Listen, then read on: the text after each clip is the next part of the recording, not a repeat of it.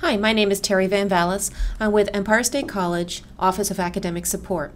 I have showed you how to set up your account in Smarthinking. Now I'm going to show you how to submit a document. So if you need some help with your writing, go to the Writing Center. And then you can come to this page, and now you have to decide where you want your document to go.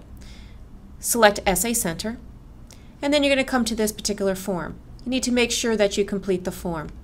Most importantly, make sure that you describe the type of help you are seeking and also the areas in which you need additional assistance. Make sure you also upload your document, otherwise the tutor is not going to be able to assist you. Please expect 24 hours before you hear back from the writing tutor. The next video I'll show you where you can retrieve some of the feedback that you receive from the writing tutor. Good luck!